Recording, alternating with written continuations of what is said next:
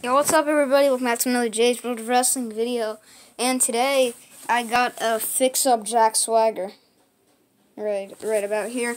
Then look, we got uh, this Sheamus. Did I know he looks terrible. I painted him when I was like 7 or 8, I don't remember. But these were Jack Swagger's original knee pads. And then these were uh, Sheamus's boots and then he has still has his regular boots on.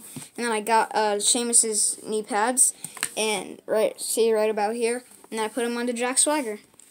Like this video if you uh, like my custom, and thanks to my dad to helping me open the uh, these holes a little bit to uh, to put the peg in. So yeah, we got a new Jack Swagger. Thank you guys for watching. This has been uh, Jay's World Wrestling video. And you know, just a short little video for Thursday. I mean, Friday.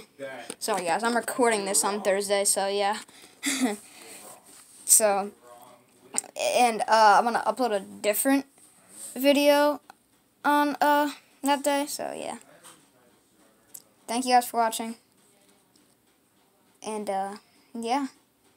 Hope you guys like my custom. Tell me how you like it in the comments. And, or if you like it. And uh, thank you guys for watching. Knuckles.